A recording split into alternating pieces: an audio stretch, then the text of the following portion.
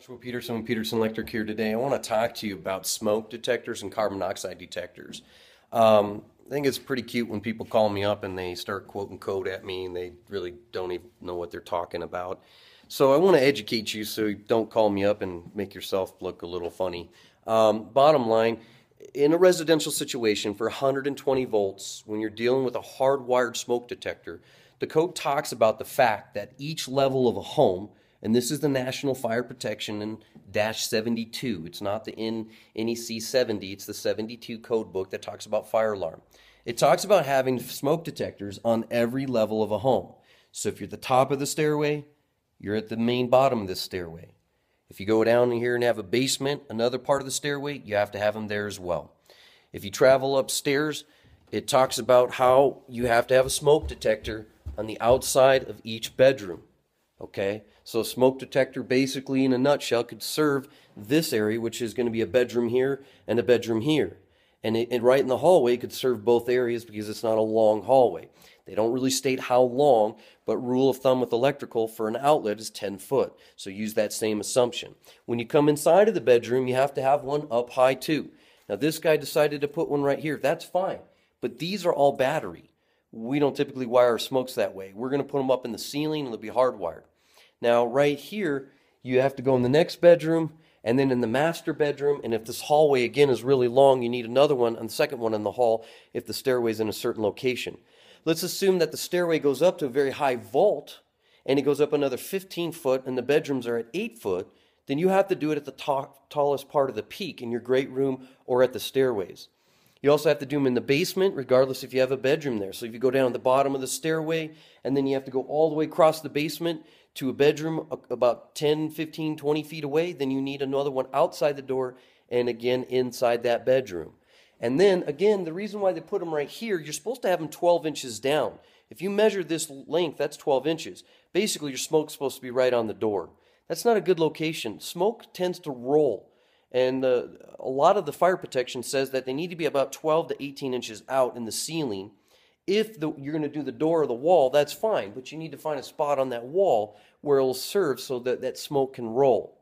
Um, and carbon monoxide detectors is another thing. The carbon monoxide detectors, basically, rule of thumb, they say, is within 25 foot of a bedroom. Any homes that are fairly small at 1,800 square foot, they don't even have a 25 foot hallway. So, in my opinion, in this house, one right up here on the outside of all these doors would work. But if you guys have any fear of that or you want more safety, remember the codes are basically the bare minimum. Go ahead and put a plug-in inside the house. But I find that the ones that are not plug-in that screwing up above are better to use. The reason being is because of the fact that you don't have to worry about your kids unplugging it or kicking it. Plus, they're more inexpensive to buy. Now, in my opinion, you should always try to find smoke detectors that interlink. Interlinking is different than the battery. A battery one is just a battery. It's going to die no different than a flashlight. But if you get the interlinking kind that are wireless and they're addressable, you can get those, but they're fairly expensive. You're going to spend 75 to $100 a smoke detector depending on where you get them. Maybe you can get them for 50 bucks but they are they have basically slaves and only one master and that one master is hardwired and all the others are slaves and they're all battery. But they do connect from upstairs to down three levels below to tell you hey i've got a smoke going on downstairs. Where batteries if no one's downstairs residing in the basement and the fire starts down there by the time you get two levels up it could be too hard for you to get out of your house or you have to go out your window. So if you can do hardwired that's the best way to go always but not all the time is that feasible to do conduit or wire mold through the house or drilling or getting through these shafts to get to every level. I have done that in the past. I've even done conduit on the back side of the house out the eave to, to actually connect each level of the home by doing that. But that's because they were doing a remodel almost in every level. So if you're not doing that, batteries are best. Interconnected battery smoke connectors are second by choice. I would do that if you have the money. And then the third again is your hardwired ones as well. Now you can get your combination type carbon monoxide and smokes together. Now Lowe's as well as I think Best Buy is selling what they call Nest, N-E-S-T. They sell a smoke detector system that's really nice. I just installed it for a customer. Um, but it's fairly pricey, guys. Uh, she bought 11 smoke detectors and supplied them for me. I want to say she spent probably around 800 to $900 And then she also had the thermostats, which she had three furnaces. So she ended up with like a $3,000 bill by the time it was done. But they were really neat, just the smoke detectors. You you can just get those items. They they did carbon monoxide detecting and smoke. They she did have a hardwired system with all 120 volts around. Um, they did have a battery backup, which was great.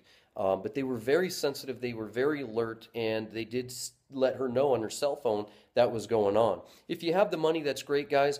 But I guess if it were me and my cell phone was alerting that my house was on fire, I think I would be more nervous driving home to see that. So I don't, I don't know. That's up to you if you want to spend that kind of money.